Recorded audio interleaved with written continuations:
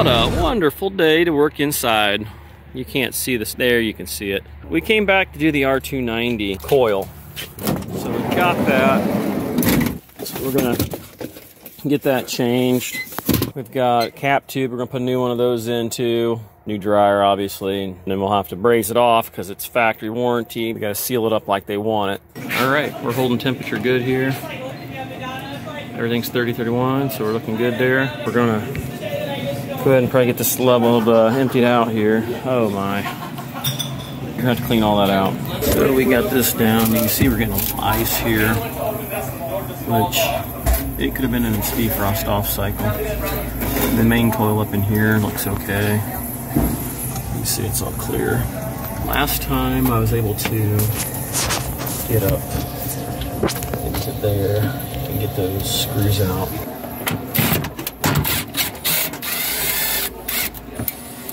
We got this all loosened up.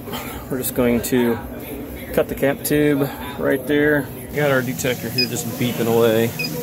We bled a little bit off, but I didn't want to get too crazy without letting that thing run.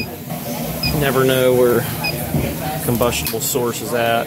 Unfortunately, I don't have a good place to run my hose to, or I'd run my big long one, so we're kind of just venting it out away from all the equipment back here. And if it gets too strong, then we'll deal with it then. So.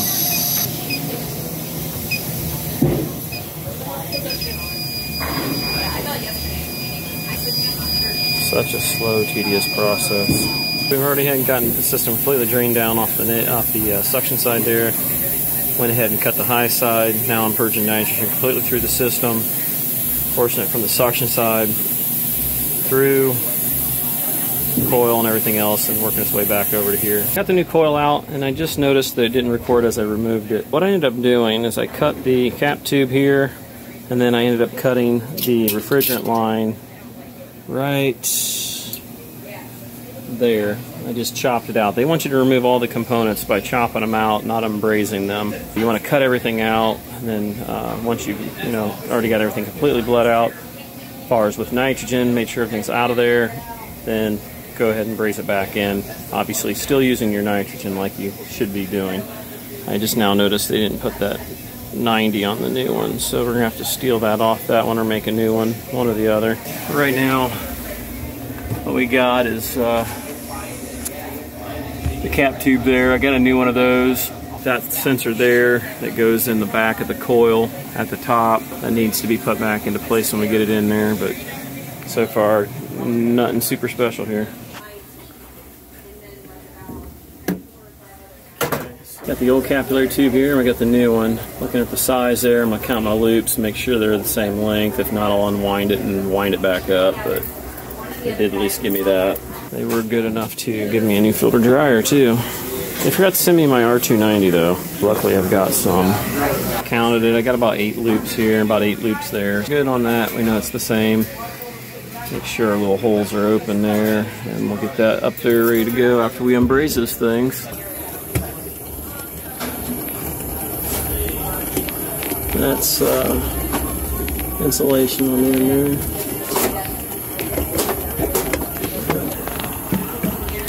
We got our nitrogen regulator on braze mode.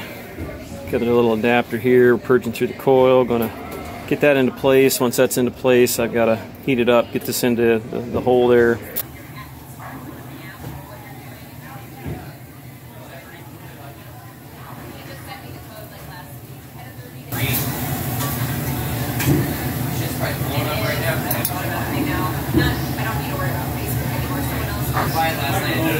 They wouldn't have gave you this piece. Kind of chintzy of them not to it. There, heated it up. Should be good to go. Just put a little bit of braze on that. Go. Go let it cool for a second. We'll blow through there with the nitrogen a little harder, make sure we can feel it coming through the capillary tube. You can always lick your finger, and then feel, you'll feel that cold air on the back side of it. So it's coming through. This is where that little regulator, and this little gizmo gadget here, which I had to find this online. This is made by JB. I think I have this in my toolbox area. If not, I can always look it up. I don't know if eBay had, or I don't know if Amazon had this or not. I forget. Had to do a lot of searching to get it. It does quarter inch all the way up to I think seven eighths. Just makes it easy. Here's a perfect example of doing the job right. If you got the right tools, you can do the job right. I did notice it changed this coil. It's black. Makes me wonder if it's made by somebody else.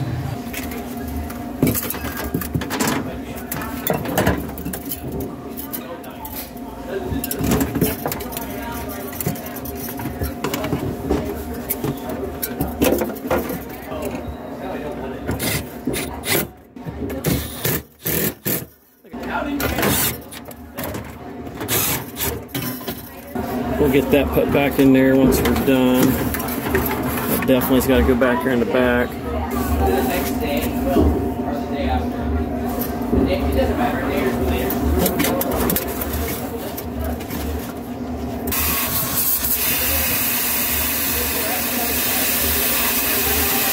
We'll give it a little shove when we get into that place.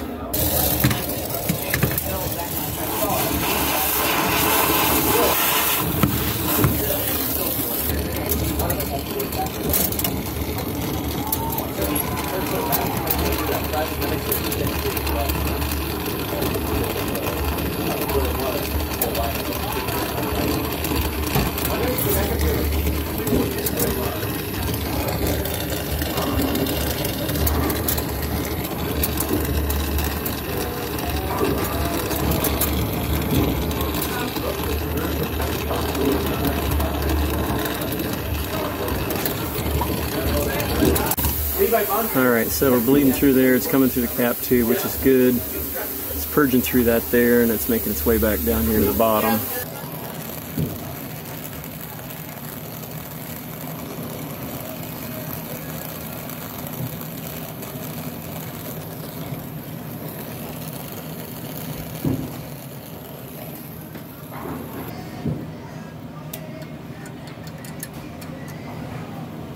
Soldered that shut when that came out, so now I'm basically gonna have to blow through my high side to blow that solder out of there while I heat it up. Is it the way I wanted to do it, but at this point, ain't a whole lot I can do about it. Definitely make sure you got your safety glasses on.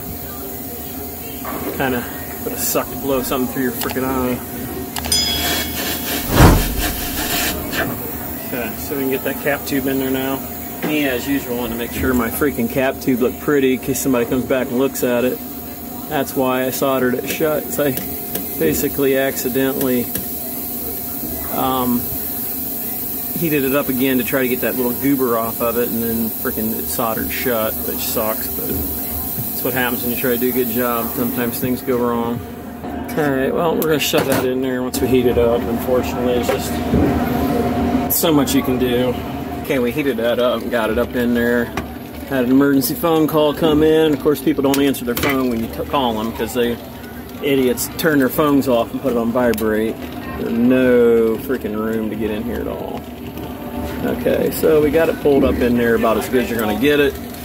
Let's check it for leaks and move on. The R290 stuff just seems like it has a few issues, but it stands out more because it is a newer, newer refrigerant in the United Yeah. States. I bought Um, a. Uh, we uh, moved into a new house and we took our old fridge. It was older, 15 years old, and we put it in the garage. We, I mean, we had it stuffed full, you know, freezer, fridge. And one day this summer, I walked out there and everything was soft. Yep. So I told my wife, I said, "Hey, you know, fuck it, let's spend the extra money and let's just get a new one." And this winter, went out there. I The new ones are uh, worse than the old ones. Yeah, Yeah. The, uh, something with the thermostats and the Frigidaires. If it's real cold, it doesn't want to run the freezer. So Yeah. It's like 35 degrees in there. Well, they're not made to be ran in cold weather. Right. Um, it uh, they're made for 70 degree, you know, Yeah. ambience. Right. But you put them in a garage. I mean, like even a pop machine, it's got special things in there Yeah. to allow it to do that. Yep, so I was pretty happy. So I ended up ordering then a garage uh, chest freezer. So mean, the fridge and everything still works. I mean, if it's cold outside, it's, the fridge is going to be cold. I'll be keeping beer and water in there anyways. But Yeah, It's, uh, it's unfortunate. we had a one service guy called and he said honestly, he said if you want a garage fridge, he said you're better off getting something that's 10 years old in the used section. He goes, you'll probably get more life out of it. Yep, true.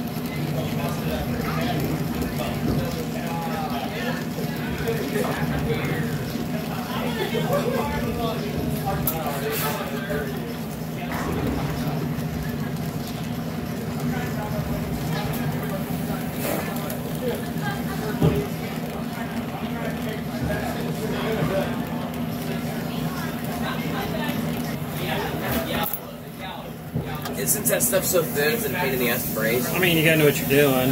It, uh, the big thing is making sure you're running nitrogen like I'm doing, because that carbon you see on the outside can get on the inside, and that's pluck it up. So that's what takes a lot longer when you do it right. So I've never done small stuff like that. When I worked for yeah, back in the day, I mean, we used to just braze it and not run nitrogen or nothing. Still, people do like that, but if you want to not have a callback later, especially when you're talking a capillary tube, that, that's such a restricted device.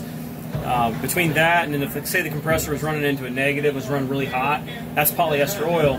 Whereas before those were like mineral oils. Well, the polyester oil will break down and then it'll get clogged into the capillary tube. So that's why I changed your capillary tube and then made sure I purged nitrogen. So any of that carbon stuff can get in there and get your capillary tube. If the compressor gets into a negative, it can break down the oil. It'll get in the capillary tube and create all kinds of nightmares. Wicked. Yeah, but since it wasn't into a negative yet, they didn't send me a new compressor. Otherwise, they would have sent me a new compressor too. I mean, that's you know, that's that's that, those are the small things. As long as people follow the procedures, it's not bad. Yeah. So, but I mean, yeah, it's pretty much now everything's brazed in. I got to do a pressure test on it, and then evacuate it and charge it back up again. And then rock and roll. Yeah, pretty much, and you should be good for at least another three or four weeks. Another what? Three or four Three or four weeks. That was funny. I was working for Finger, so I'd work a three month period when we were closed. Then I wouldn't work until the following summer. And it seemed like, yeah, like running nitrogen through lines. Like my first summer, you didn't you didn't do that. And then the next summer, I'm like, what are you talking about? And they're like, yeah, you have to run nitrogen through the lines while you're doing it. And Yeah. I mean, there's a lot of guys that don't. I, I bought a regulator that makes it really easy to do it right. I mean, I got some other gizmos like like this that I can sit there and jam into the coil while I'm brazing an external unit, and it allows me to flow nitrogen through it. I mean, there's all kinds of tricks. Just depends on how involved somebody is into it. Sure. So I mean, Super. yeah, I appreciate everything you've done. no problem. We're Like getter. I said, Luke had nothing but great things to say about you guys. So Yeah, That's I'm, nice to know. I try to do a good job too. So I mean, I I make YouTube videos and stuff like that. So at first the company didn't like it, but I'm like, wait a minute, you got proof that I did the job right. Yeah, I'm not going to put it out there for 5,000, 10,000 people to see. Yeah. If I'm going to do it wrong, so. sure, sure. No, that's It eventually got them to okay. I mean, I recorded the, the last repair and stuff, and you know, it got quite a few things. Even True, a guy from True watched it, and he's like, "Yeah, we've had a couple issues." We got an under pressure test here, 180 pounds, both sides, both are hooked up. Haven't picked up any leaks yet. We're gonna pull evacuation on this thing and uh, get it recharged, just like we did uh, when we uh, made the repair, or I should say, when we first came out here.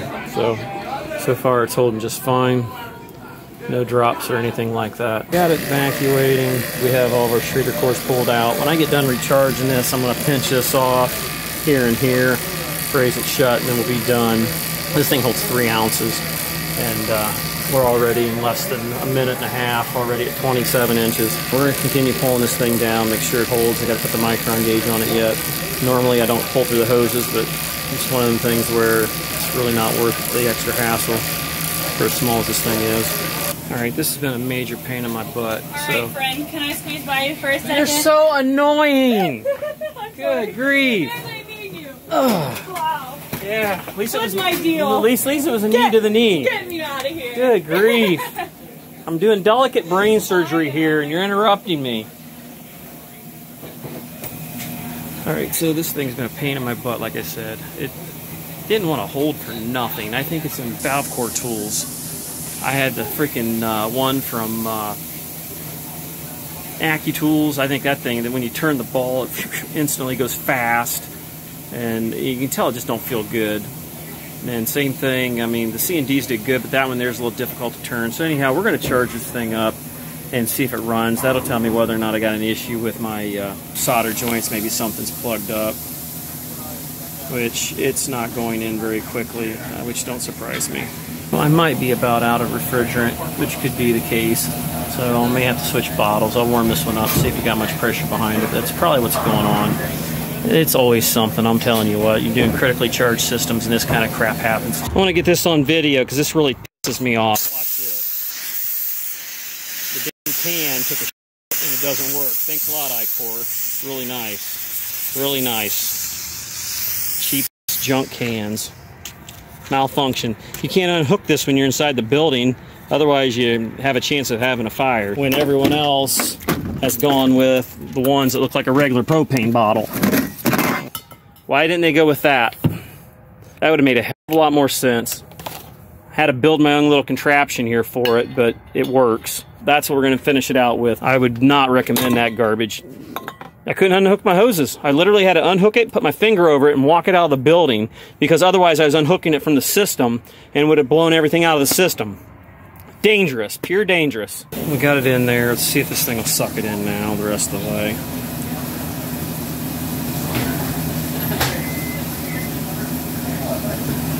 I've got something wrong with my bridge joint.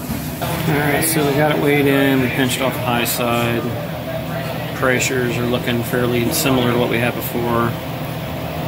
Discharge temperature is a little higher at 135, but it's working, and we're at 35 degrees. So we're just waiting to see it hit temperature, and I'm out of here.